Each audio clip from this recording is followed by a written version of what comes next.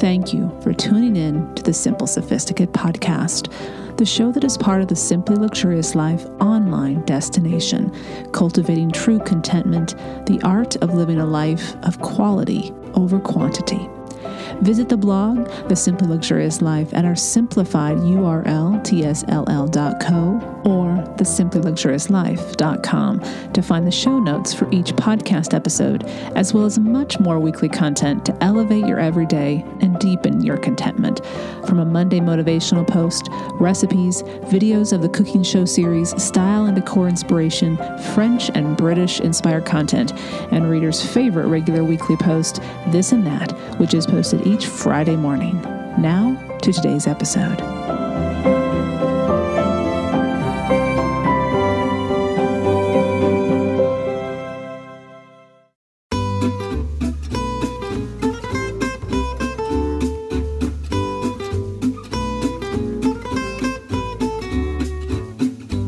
Welcome to the Simple Sophisticate podcast, where intelligent living is paired with signature style. I'm your host, Shannon Ables. And whether you're listening on your commute, exercising, working in the garden, or sitting down with a hot cup of tea or a cafe au lait, thank you for tuning in. Let's get started.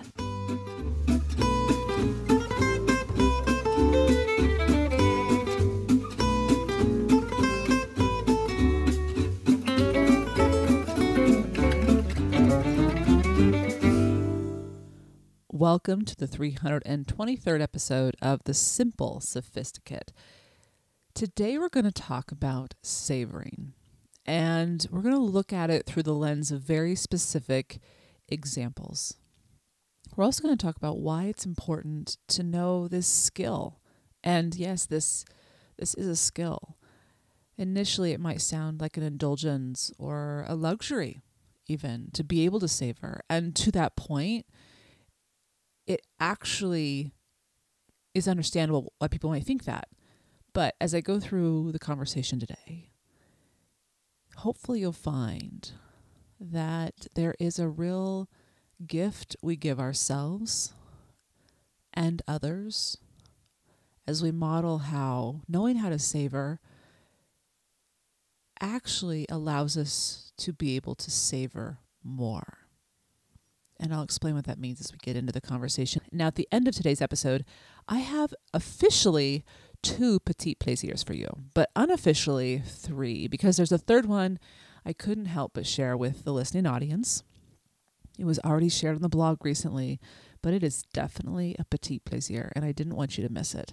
I'm also going to talk a little bit about my book that is coming out on March 22nd and will be available for pre ordering for hardback and paperback on March 1st, so in fewer than eight days. Anyway, I'll be talking you through what that is and how to go about it and what the book's about at the end of today's episode. But first, let's talk about savoring.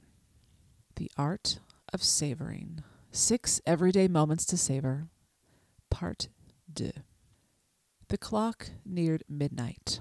The candles on the table still flickered, just at a slightly lower height than when they were lit only six hours ago. The kitchen was full of dishes, waiting to be washed, and the platters of food offered crumbs and hints at the menu that had just recently been shared and enjoyed amongst friends. If you read this past week's This and That and the previous week's This and That, you know that the first dinner party at Le Papillon, my house, took place over this past weekend. And after being thoughtful about when it was a good time to finally be able to invite friends in a large gathering into my home, honoring each person's comfort level and ensuring safety and health precautions as they were clearly communicated so that all could relax and enjoy the evening. So, just to let you know, all my friends were boosted, and we let each other know we were boosted. I had tests available rapid tests available for, for anyone to ease their mind and to ease the rest of the party's mind.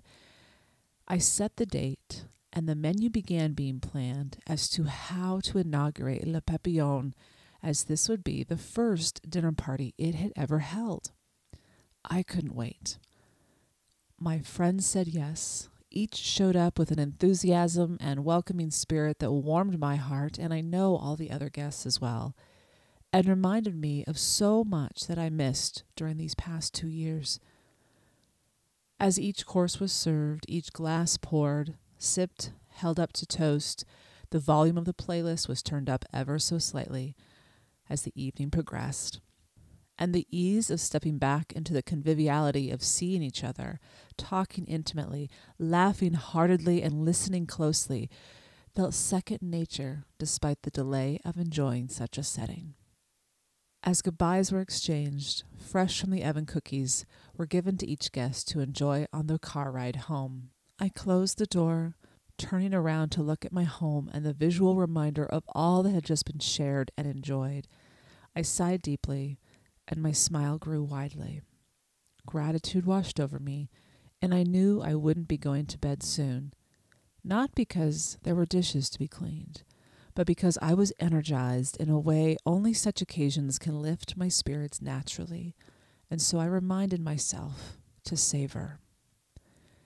In episode 213 in 2018, if you are a long-time listener of this show, you will remember that I detailed in nine steps and ideas how to savor any given moment in which you find yourself wanting to remain in that present moment, taking all that you are experiencing in fully so as to hold it in your memory, but as well to let it be what it is and not force it to be what you want it to be. Today, I would like to further the conversation on savoring and share with you six everyday moments to savor or moments in which you may forget to savor well, giving yourself permission to take it all in, slow down, and revel in the awesome gifts received by that moment that you are delighting in, that maybe you've waited a long time for, that maybe you just, ah, oh, it brings so much joy when it happens. Studies have taught us that there are three different ways to savor life moments. And when we do consciously welcome the art of savoring into our lives, we actually improve our well being. Yeah, we, we improve our health, our body, our, our, our, our, our physicality actually improves. And what I mean by physicality is our stress levels reduce naturally because we learn how to better travel through our days. So while it may seem indulgent, even selfish, and at the very least unnecessary to engage in savoring, the truth is to know how to savor and incorporate doing so into your everyday life is to increase the quality of your life. Now, let's talk about the study that I mentioned, one of the studies. There are multiple ones, but this one I feel does a good job of breaking down the three different ways of savoring. As detailed through extensive research by Dr. Jordi Quoidbach of the Barcelona Graduate School of Economics, and I've linked that in the show notes if you want to take a look at it more in detail. The three types of savoring depend upon when and what you are savoring as it relates to time. So, the first way you can savor is what they call anticipatory savoring. And that is just as it sounds, looking forward toward an event that will be occurring in your future. So, this is the act of savoring in the sense of you know you're traveling to a certain destination or you know a particular event is going to happen that you're going to be attending and you're preparing yourself. You are reading books, as I mentioned, you're, you're planning your wardrobe, you're watching films on this topic, you're preparing necessary information, anything that might enhance your experience. So when the actual event arrives, you can really drink it up. So that's the first type of savoring. There's actually science behind the fact that this deepens our well being to let ourselves do that. Experiential savoring is just again as it sounds, you're holding yourself in that present moment when that event is actually happening. You're wholly holding yourself present. You're using your senses to appreciate all that is taking place around you, and you're not letting your mind wander ahead into the schedule of what needs to be done or what you're going to do tomorrow, and you're not dilly dallying back into the past you're not pulling yourself away in any direction from the present moment. And the third type of savoring is where our focus is really going to rest today. It's called reminiscent savoring. It's to consciously savor an event, a moment, or an experience that while you know it will have an end, you hold space for the feelings that were created by that event in your memory. You don't hold on. You're open, your hands are open. You're you're letting it be what it is. But because you know it has to come to an end, there's a term that was referenced in this research that's called peak theory. And so when you know it's going to come to an end, you consciously plan a, a positive activity to experience at the end of that moment. So, at the end of the trip, end of the occasion, that moment that you've long anticipated, you're enjoying that it's arrived, but you also know it's not going to last forever. So, you plan something to conclude it, to put a beautiful ending punctuation mark on it. And it ends it in a grand positive note so that you savor the experience all the more in your memories, in reminiscent savoring. Now, much of what we will be talking about in the list today are moments where we have long anticipated their occurrence to happen and we've hoped that they will go well. And upon such an event going well, we consciously choose to create a space for a peak theory moment as a way to fully savor what has just concluded and deepen the much appreciated event even more.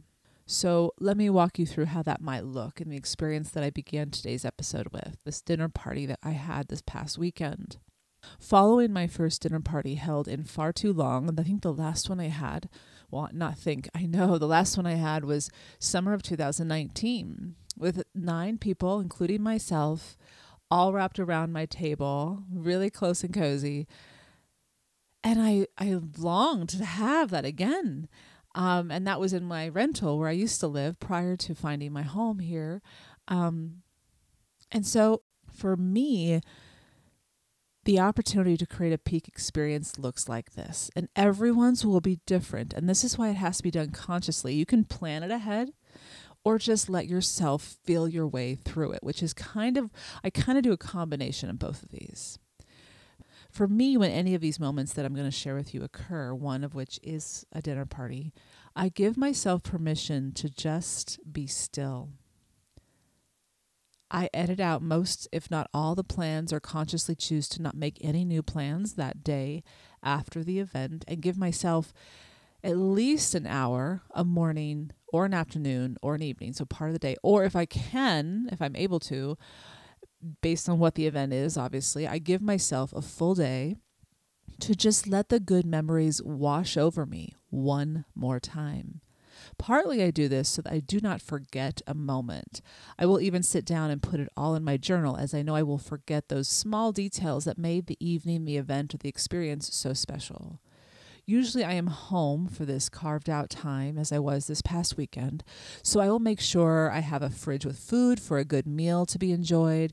I will snuggle up in my cozy pajamas or leisure clothes, make a pot of tea, probably multiple pots of tea.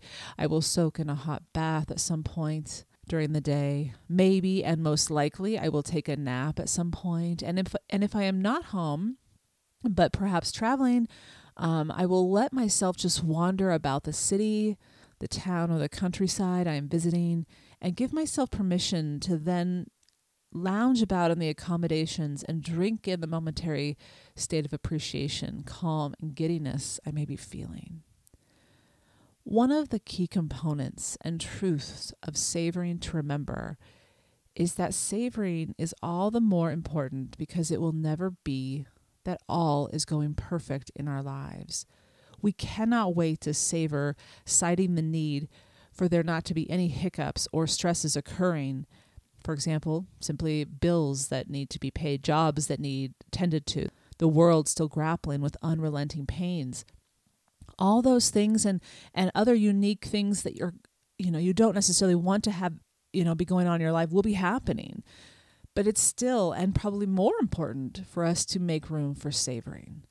In fact, it is precisely because there will always be some kind of unwanted thing happening in our most intimate lives as well as the grander world that we must incorporate savoring into our lives.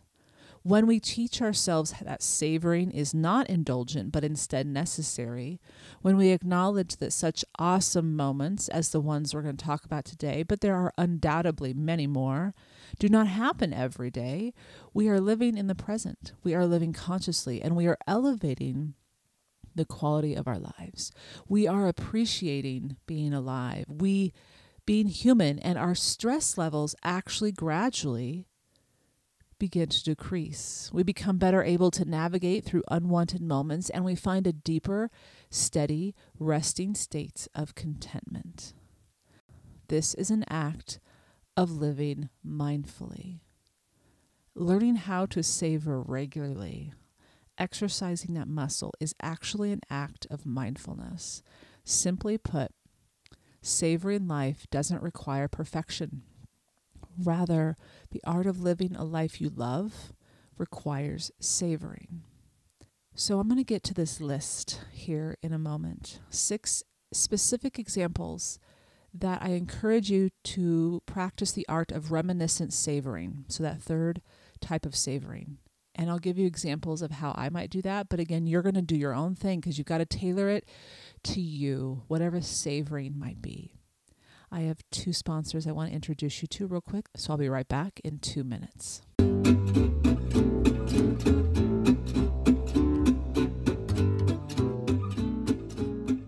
If you are looking for more beautiful hair that's shinier, thicker, fuller, but you also are looking for a 100% vegan and holistic approach, Vegamour is the brand to explore. Vegamour is a transformative, 100% vegan and holistic approach to hair health that leverages smart botanicals clinically proven to promote visibly thicker, fuller, longer looking hair. Vegamour products can become an essential part of your daily care routine. In fact, using these products, I have noticed a positive difference when using their GRO Revitalizing Shampoo and Conditioner Kit, as well as their GRO Plus Serum. All Vegamour products are cruelty free and 100% vegan and never contain parabens or hormones. And the best of all, Vegamour has a 90 day money back guarantee. And even better, 91% of customers say they saw visibly thicker hair with Vegamour in just three months' use. So boost your confidence with hair that is longer, fuller, and thicker. Try Vegamour, risk-free for 90 days. Go to vegamour.com slash sophisticate and use promo code sophisticate to save 20% on your first order. That's V-E-G-A-M-O-U-R dot com slash sophisticate, code sophisticate to save 20% at vegamour.com slash sophisticate. Funjet Vacations is a one stop shop for all of your vacation needs, including flights, hotels, transfers, and excursions. As experts in the industry, they offer customers a fast, easy, and fun way to book their next vacation to one of hundreds of destinations like the Caribbean, Mexico, Hawaii, Las Vegas, and Florida. They offer exclusive all inclusive package deals to Mexico and the Caribbean, and at the heart of every experience and service they offer is fun. They believe that travel is not just a ticket to a destination, it's a gateway to an experience with the people that matter most. They know this can have significant impact on your life, not just when you're on vacation, but by bringing home those lighthearted experiences and filling your day to day with a deeper sense of well being, joy, and downright fun. For a limited time, Simple Sophisticate listeners can use promo code FJ50 for $50 off your next Funjet vacation to Dreams Resorts and Spas by AMR Collection. Get more moments that are fun expected. Surprise yourself with where you could go at funjet.com or call your local travel advisor. Restrictions apply.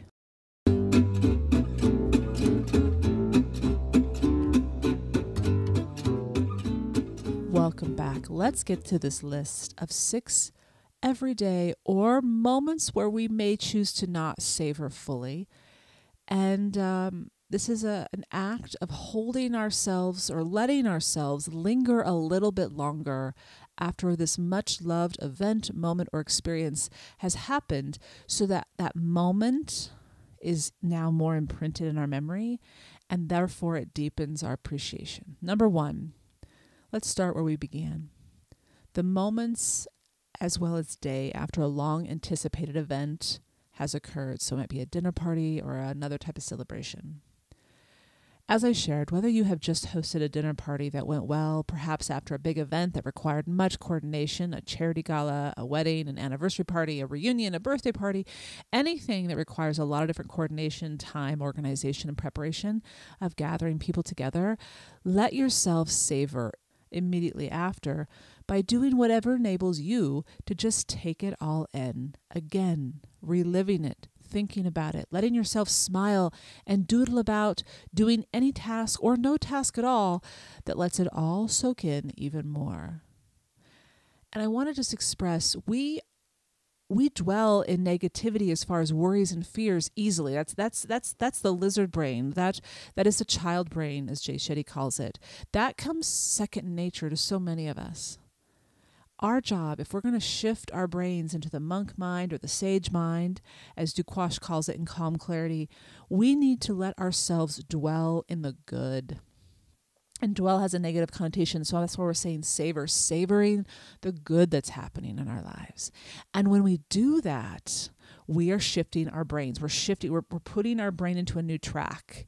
And once we get that into a muscle memory then we feel more naturally to f- default to that track of, of savoring things when they go well. So I would suggest doing it right after the event. So last night, as soon as the last guest had left, about 11 o'clock, I actually do enjoy cleaning up after the party. My friends helped me during the party throughout, just kind of getting things into the dishwasher, but I still had a lot to do.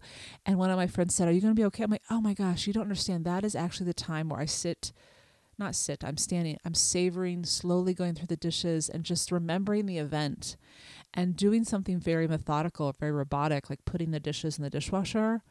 Is actually a way for me to linger longer in the good memories of that night. And I just go as far as I want to go with the cleanup until I get tired or don't want to do it anymore. And I'll finish up when I want to finish up. But then what I did is while the dishwasher was running and I was waiting for one load to finish, I sat down. I poured myself another cup of tea. I sliced myself a little slice of the dessert. And I just sat and enjoyed it. I wasn't tired yet, and I should have been. But that's what I mean by you're going to know when the moments uh, come into your life that you need to savor.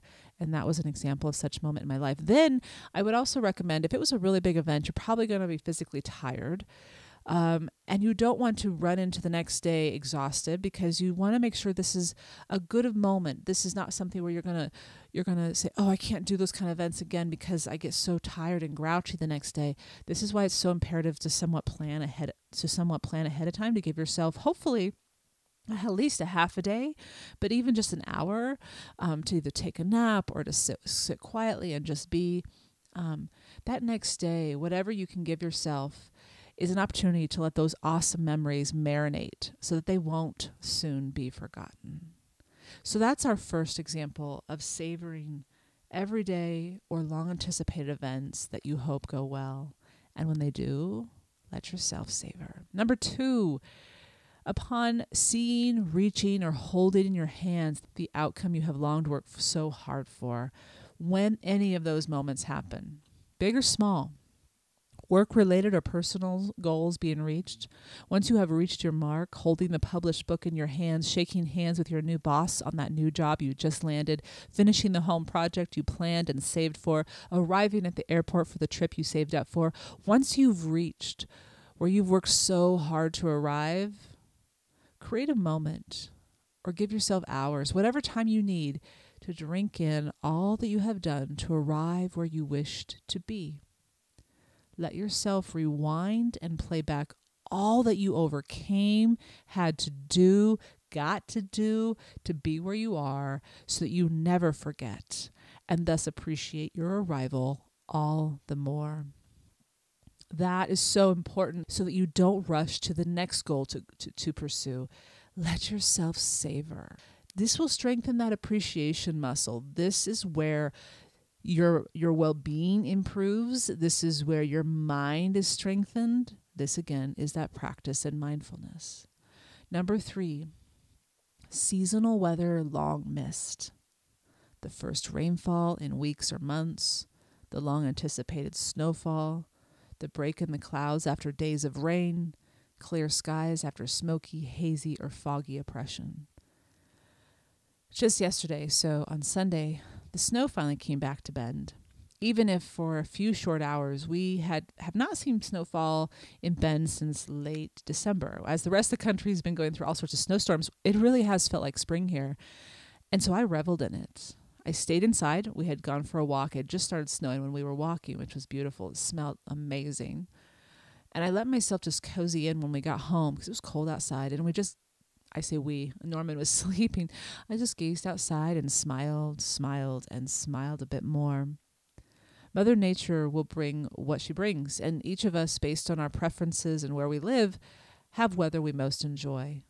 And when that weather has not happened in far too long, when it does arrive, let yourself savor it.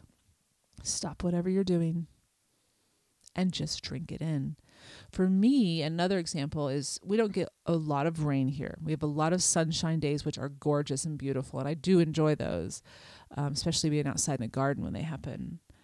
But if it rains here in Bend, I have a little ritual that I do now. I have my Emma Bridgewater um, Union Jack mug. You may have seen it in the Instagram post I posted last Friday. I pour myself a cup of tea, and I will make sure that if I can, I'll go for a walk with with Norman. He loves the rain, and we'll go walking. I'll put my wellies on and I'll grab my umbrella, even if I don't really need my umbrella. I just like having my umbrella. But when we come in afterwards or before we go out, I will have a cup of tea with that mug and snuggle in. And if it's raining for a good long time, I will watch a cozy mystery or some kind of British show that lets me escape to England and the English countryside. So that's a way of savoring, creating a ritual around these moments that you can't plan, you can't predict. And if you have time to do those, again, that deepens your appreciation for them and it really cements them in your mind so that you're you're finding beauty in the everyday. And it's kind of a lovely way to give surprises to yourself. So that's number three seasonal weather that is long missed. Number four, when you've finished a book that has transported you, moved you, taught you something unexpected, or deepened your understanding in a way you had never known before, savor it. Upon finishing the book, reading that last word, that last page, that last chapter, you close it slowly. You look up at nothing in particular, and perhaps you just smile as your thoughts seem to have been renewed and enlivened. And perhaps you sit with this feeling of great expansion and this is where you let yourself savor the gift that you have just given yourself by reading this book, by making time to do this. You are changed, you are growing, you are living, and that is an exciting place to find yourself and to realize about yourself.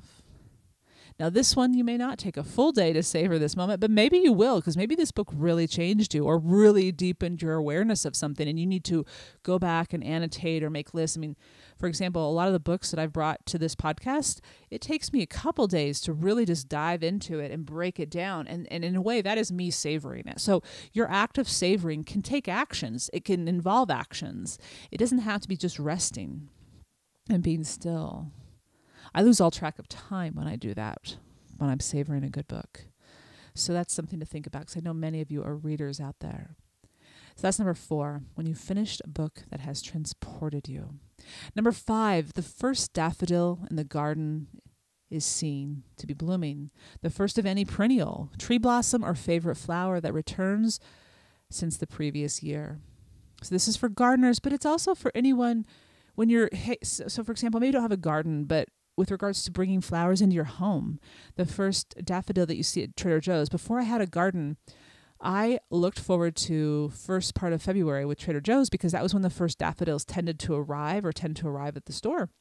And I would just savor that moment and bring home a, a bouquet's worth and just find a, a, pride of place spot in the house and just ooh revel in it. You know, you don't have to do this with with with just gardening um, in the dirt. It can just do with um, blooms of any sort. Whether you sit outside, because you're seeing your daffodils outside, and simply gaze in awe at the beauty that has revealed itself, let yourself delight in this awesomeness of Mother Nature. If the weather is warm, I will sit out on the porch or somewhere nearby the bloom and, and take more than a moment to be in that space with the natural beauty. Sometimes I read a book. Sometimes I will sit outside with a cuppa. Sometimes I will just close my eyes and feel the fresh air kiss my skin.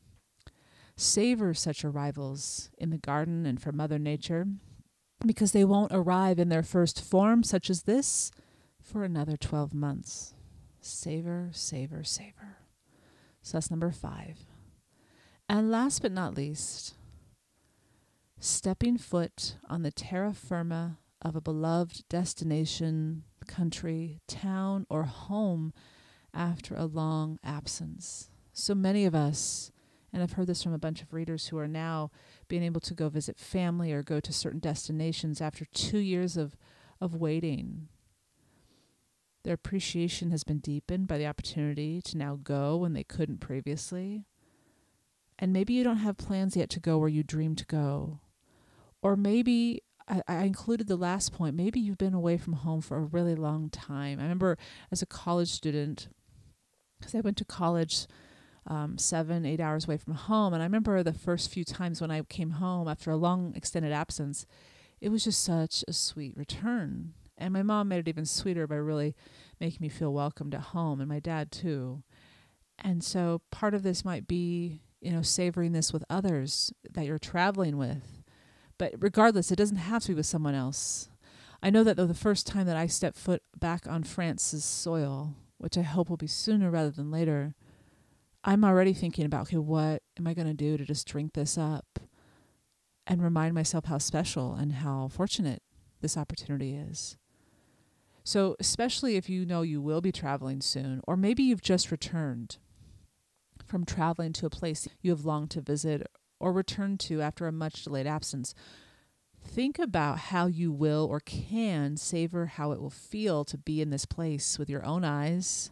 Feel the air of that place, the energy of that place, so that you can hold it with you in your memory when you do have to eventually leave again.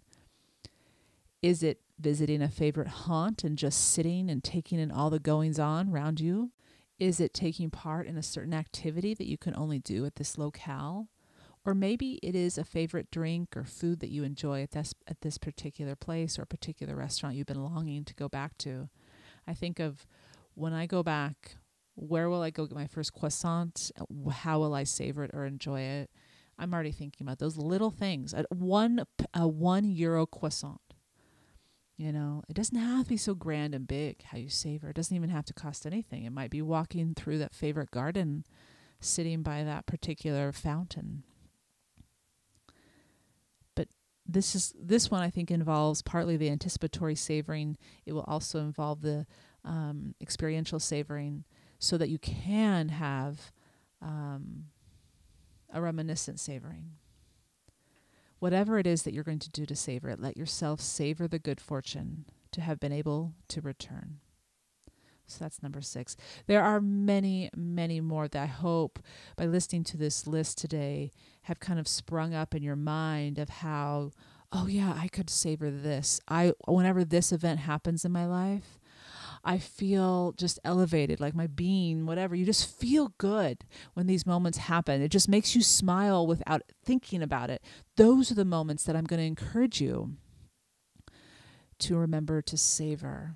Give yourself at least an hour to savor. And if you can, and depending on whatever the event is, a little bit more. Knowing how to savor and why it is important to do so not only strengthens our muscle of mindfulness, as it involves the awareness of our mind and where we let it travel and where we hold our thoughts, it also shows us how awesome our one and only life is. When we pay attention to how certain moments that make us feel good in a natural way, we are honoring our most true selves. When we honor our true selves, the quality of our days improves and thus the quality of our lives. Again, to return to a thought expressed at the beginning of this episode, we really are retraining our minds. This is how we do it. And it becomes easy to do it with regards to savoring because we enjoy these moments. We're not forcing ourselves to, you know, refrain from doing something we don't want to do. We're actually encouraging our minds to do something it naturally wants to do. The powerful truth of savoring is that it reminds us that whether the good moments in our lives are large or small, seemingly significant to the outside world or not seen at all, we become more in tune and aware as to how truly rich our lives are. And what we think we lack is actually far less than previously thought. In fact, we may have all that we need if we would only give ourselves permission to savor more regularly. The exciting truth is, everyday moments abound for us to savor if only we would have the courage to lose our inhibitions and revel in them and then hold them close to us so that we never forget how great life truly is. Let yourself savor. You naturally want to. Let yourself savor. I hope you've enjoyed today's conversation. You can check out the show notes at the simplyluxuriouslife.com slash podcast 323.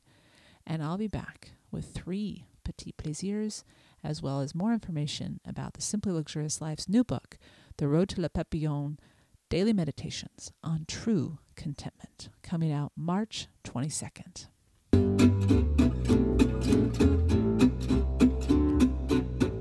Bombas' mission is simple make the most comfortable clothes ever and match every item sold with an equal item donated. So when you buy Bombas, you are also giving to someone in need.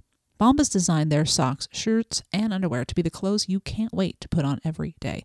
Everything they make is soft, seamless, tagless, and has a luxurious, cozy feel. They're made with super soft materials like merino wool, pima cotton, and even cashmere, which makes them the perfect cozy winter layers. There's a pair of Bombas socks for everything you do. They come in tons of options like comfy performance styles for every sport and activity that keeps you moving. And Bombas is something that I wear every day when I'm just taking my everyday walks with Norman, walking around the house, want my feet to stay a little bit warmer. As a simple sophisticate listener, go to bombas.com slash sophisticate and get 20% off any purchase. That's B-O-M-B-A-S dot com slash sophisticate for 20% off. Bombas.com slash sophisticate. This podcast is sponsored by BetterHelp Online Therapy. A lot of us will drop anything to go help someone we care about. We'll go out of our way to treat other people well, but how often do we give ourselves the same treatment? This month, BetterHelp Online Therapy wants to remind you that you matter just as much as everyone else does, and therapy is a great way to make sure you show up for yourself. I personally can say that I have benefited from seeing a counselor.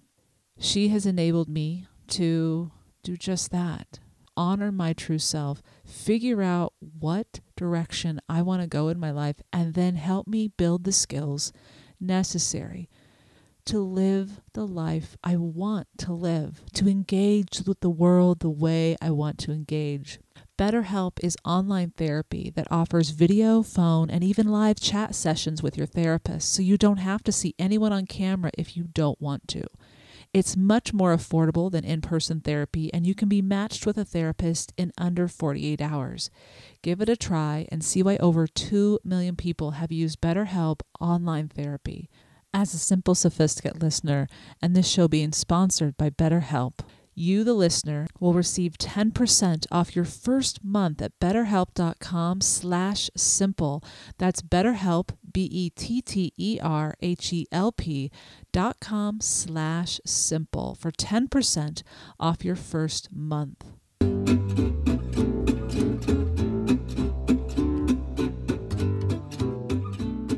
So, my first petit plaisir is the unofficial one. And it's unofficial because it's already been posted on the blog, but because I was talking about my dinner party, I wanted to share with you a component that I think you'll find delicious, simple, and a little bit of a luxury. it is the Oregon chocolate chip cookie recipe. And that's the reason I call it the Oregon chocolate chip recipe is because it includes candied hazelnuts. And if you know Oregon and our food sources that come directly from Oregon or grown in Oregon, you know that Oregon is the only place in the United States that grows hazelnuts often and sometimes called filberts. They're the same thing hazelnuts, filberts. Love saying filberts, though. It's kind of fun, right? and there is another place, but it's not in the United States, that's in Turkey. So, yes, Oregon is known as hazelnut country, and so thus the Oregon chocolate chip cookie. Now, chocolate chip cookies, there are millions of recipes for these, and I ate so many of these cookies growing up and far too many in my early adult years. But I did stop eating or even making cookies for the last 10, maybe more than 10 years in my house. And the reason is that it's hard to say no after just one. And especially if you are the one making the, the dough, you can have as many as you want. Um, so I've refrained from making cookies. And so what I'll do, I'll either buy just one nice, awesome cookie as a treat, or I will make a batch like I will of this recipe I'm going to share with you and freeze them and I mean freeze them like you can't not in not in a, a, a, you know big roll. Individually put them in balls and they will be rock hard and it would just take too much time to hustle in there and, and nibble on the dough. And that seems to work for me. But what are these cookies and how what makes them special so First of all, it was inspired um, after visiting a restaurant in Portland, Oregon, a James Beard nominated restaurant in Portland, Portland, Oregon, a French restaurant, Coquine. And I went there for a meal once. I've been there for breakfast many times. Absolutely loved it. I've, I've linked to the, the restaurant and my, my post about it on um, this Petit Plaisir post. And we had a full meal for dinner, and we even had dessert. And upon paying the check or getting the receipt back from the waiter, they brought to us two small bags of freshly baked chocolate chip cookies, and they were still warm to the touch. And so, as we're strolling back to our vacation rental, because again, we're in Portland, it was a summer evening, and we just nibbled on these cookies as we were walking home. And it just, they melted in my mouth and or the one I was enjoying melted in my mouth, and it just deepens the appreciation of the meal. Um, it's the last memory you have, right? And so I was like, okay, this is a good cookie. What did they do to it? Oh my gosh, there's these candied something or other nuts in it, and anyway, it's just absolutely decadent. You wouldn't want to have more than one of these. In fact, you might even want to sh- share it. And so I've also had a really good cookie that was similar to that at Papa Haydn's in Portland, Oregon, which is one of the, my favorite dessert places to go in, in Portland. I used to live a block away from this restaurant on Northwest 23rd uh, back in my 20s, and um, I would go there for a special occasion. I would never be able to afford dinner at that point in my life there, so I would always always just go and pick up a dessert from time to time for special occasions. And then also when I went to uh, New New York City quite a while ago, it was when uh, Levain or Levain um, cookie shop bakery had just opened on the west side, Upper West Side, and I remember going in there. I think I've talked about these cookies before. You can now buy them in frozen form at Whole Foods, which I do sometimes. They're really good.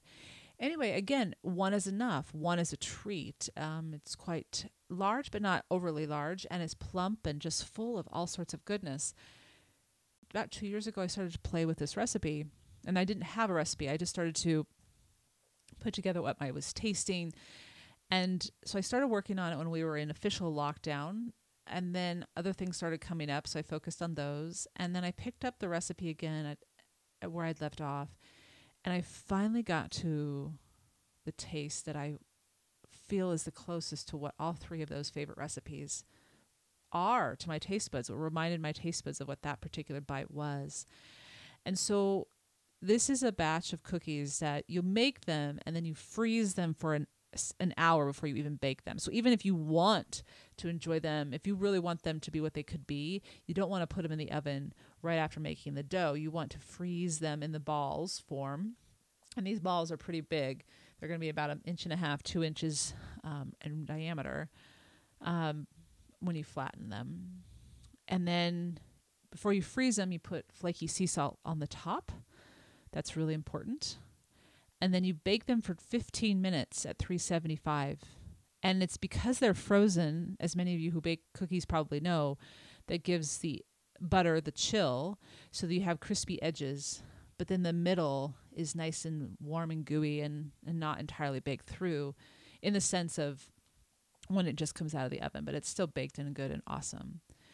Anyway, what makes this cookie also very special is that you have candied hazelnuts. And I walk you through how to make the candied hazelnuts. It's so simple. It just takes 15 minutes, then 15 minutes to rest, and then you put them through a food processor to break them up roughly. So easy. Adds a lovely kind of nutty, obviously nutty, duh, Shannon, but sweet, but also savory combination in the middle of the cookie. And you just, oh, that was what really was the magic that took me over the top with the coquine cookie that um, inspired this recipe. So then I, I I, I, I will just freeze all of them in the freezer. And then what I do, what I mentioned at the top of this episode, is that's the that's the parting gift. That's the thank you for coming. I'm so glad you were here. You know, I give them in uh, parchment bags to my guests as they're leaving, and um, I just I'm just so grateful that they wanted to come, and I'm so grateful that they did, and I hope they had a good time. And so I, I, I give get one cookie per guest as they leave, and they're just a special treat on their own. And you could share them with somebody, or you could have it all to yourself, but you really only need one cookie. So I have the recipe um, linked on the show notes and the whole story of where this recipe came from. Again, this is my Oregon chocolate chip cookie, which includes the candied hazelnut. So that's Petit Plaisir. Um, number one, unofficially. um, Petit Plaisir number two is a French show. It's a French show that um, I've mentioned on this and that before. But for my Francophiles, I think you will really love this show. And my readers brought this to me. So some of you may already know about this. Some of you may have told me about this. And I really got into the series heavily this January, I guess I could say. Um, it's called Murder In, and it's a, so it's a it's a murder mystery. It's very similar in my mind to Midsomer Murders, the English cozy uh, mystery um, series. And what I love about this, there are eight seasons. There are about nine to 12 episodes in each season.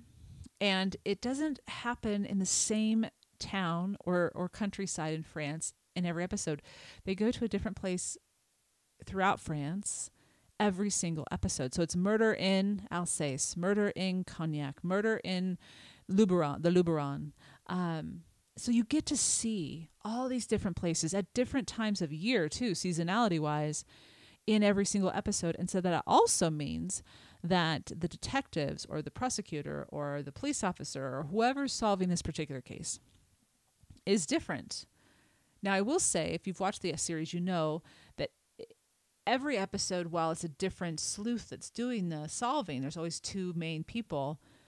If you watch the series long enough, certain cast members will return and their storylines will continue in an unexpected, lovely way. And sometimes they do change the actual characters' names and they become someone different, but you do start to become invested in certain characters. But they do wrap up every episode with a bit of a love story. So that's what's unique about this show is that yes, you're solving a murder. That's always the the main plot line.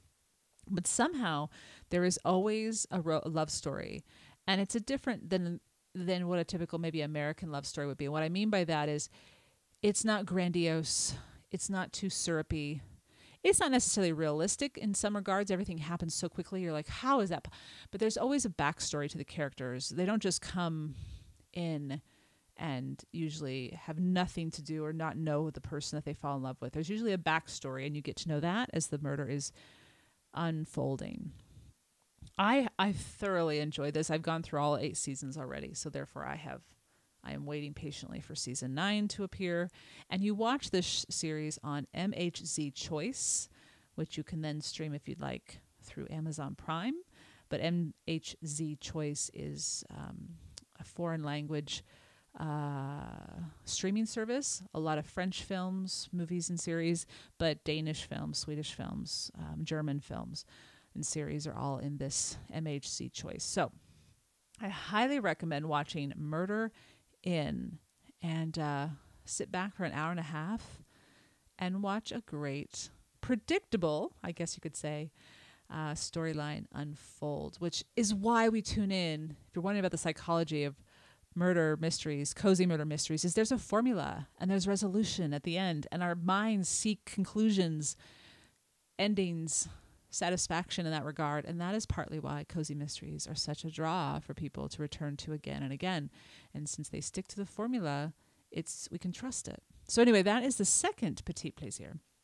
The third petit plaisir is a book that I thoroughly enjoyed as it re- arrived last week. It is even if you're not a yoga enthusiast, I would highly recommend you picking up this book. It's called Yoga Happy by London yoga and meditation teacher Hannah Barrett. Simple tools and practices for everyday calm and strength. And it's there's photos in here, a lot of photos of her. Now, she does walk you through yoga um, poses and whatnot. I actually didn't even look at that part for this book. I have my instructors that I trust and whatnot. And this furthers understanding of different concepts, which I love, and I will return to as that resource. What this book is good at explaining, which she does a brilliant job of doing, is walking you through how yoga connects to mindfulness and how we can use our breath and the power of breath to deepen our mindfulness practice, and how mindfulness, to talk about what we talked about today, deepens the quality of living well. She shares science, the science behind it, but she talks about it in a very straightforward, clear way. And she comes at this from a very sincere place. She herself was not always a yoga teacher. She was an actuary in a more corporate environment for years, and she shifted, and her life has improved immensely. I so appreciated her thoughts on self care and the importance of self care she talks about how happiness is a choice. She talks about the different practices um, that are part of yoga with regards to the intentions we set, how we live our everydays. Um, in the chapter titled Find Fulfillment and Growth, she talks about the yamas and the niyamas, the ethical principles that are intended to guide how we behave in a compassionate manner toward others as well as toward ourselves. And she breaks down what those are. So, for example, yamas would be, I'm going to mispronounce these, so please bear with me.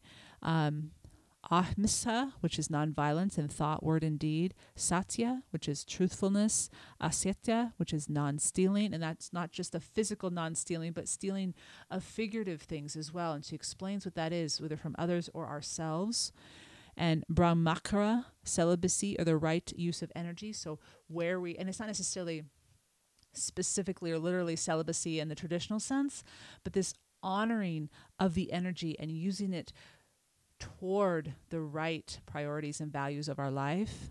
And then aparigraha, which is non possessiveness or non attachment. She just teaches it in a way that is very approachable. So if you've ever been wondering what is so what is so intriguing about yoga? Why do people practice it?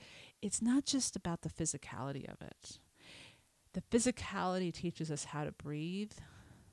The breathing enables us to be more mindful, and it's an, it's a way to build a foundation for living well in our everydays, as she said, toward ourselves and with others. It's a beautiful book. Highly recommend it. Even if you never want to do yoga, you do not have to read it for the mindfulness and meditation approach. She does walk you through mindfulness practices, um, one of which I practice, which is a very basic one, um, having to make sure that we really breathe deeply, and how part of the reason we may not be living as well as we would like has to do really with how we breathe. Speaking of breathing, taking a moment to remember that that is the only thing, she says, that we can do consciously and unconsciously that enables us to live. Okay, three petit plaisirs. I hope you've enjoyed this week's Petit Plaisirs, where each week ideas are shared to make the everyday all the more enjoyable. Tune in at the end of each episode where I'll recommend a book, a film, a show, a recipe, anything that is a simple pleasure to satiate your sophisticated taste. It is good to be back with you in this space. I want to talk briefly about the upcoming release of the third book from the Simply Luxurious Life, one that I am so excited to bring to you. It is called The Road to Le Papillon Daily Meditations on True Contentment. It contains 496 pages, one entry per the day of the year, so 366 entries all about how you can live a life of deeper contentment every single day of the year. It is part memoir, a more personal book I have never written. This is a very personal book of my journey over the past 20 years, even really 43, almost 43 years, of how I came to know and understand the power of living a life of true contentment and what that looks like and what the journey entailed to learn these lessons. But most importantly, it is about how you can live a contented life every single day. So the paperback and hardback will be available for pre-order wherever you order books online. The primary place it will begin being available is Amazon, but you can go to your local independent bookstore. You can in in a few days time it'll be available on other online book sites. Just ask them, give them the title, and they'll be able to find it. Pre ordering begins March 1st, so a week and a day from today. And then all the books should arrive, hardback and paperback, by March 22nd if you order on March 1st. The paperbacks are going to come faster. They print easy and quickly. Hardbacks are taking more time to print, so they may take a good three full weeks. So, really get that order in if you want the hardbacks. You can take a look at the hardbacks in Friday's Instagram post. I'm really excited of how they look. And the ebook is available for pre order now. And the audiobook, as you're a podcast listener, that might be of interest. I am in the middle of taping that right now. I'm halfway through. I'm working on chapters six and seven today in the office, and there are 12 chapters. That will be available March 22nd, the full audio version of the book through Audible or wherever you get your audiobooks. And um, yeah, I'm I'm really excited for you to hold this book in your hands. You all have been so patient as I've worked through how to bring this to you over the past two years with the work of illustrator Sarah Locker and my editor and my web design team that put the cover together. Thank you um, for waiting. I do hope it's what you can apply to your everyday life and um, see positive changes. See the see the life you want to unfold really unfold in a most magical way. So again, the book is titled "The Road to the Papillon: Daily Meditations on True Contentment." And with that, I'll be back with a new episode on Monday, March 7th. Until then, stop by the blog. I'll have a new motivational post next Monday to kick off the new week and all sorts of regular content throughout each week. Bonne journée.